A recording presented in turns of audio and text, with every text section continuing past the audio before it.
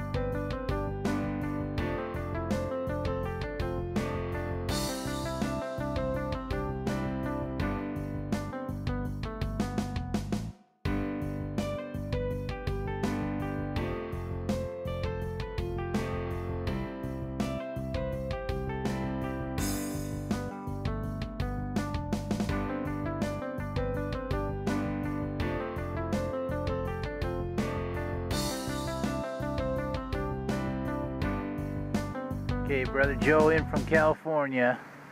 This is his last cast before he's got to go back. We're hoping to end on a high note. Not today. he's going to make it a long cast.